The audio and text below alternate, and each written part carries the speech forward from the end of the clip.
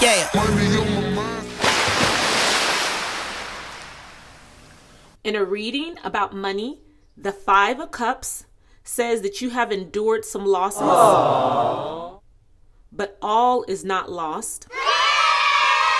Don't keep throwing good money after bad money. You got cash, blow some up, blow some up. The Five of Cups encourages you not to give up hope. I think I can. And in some cases, the Five of Cups warns against any financial matters you are considering. That's all, folks.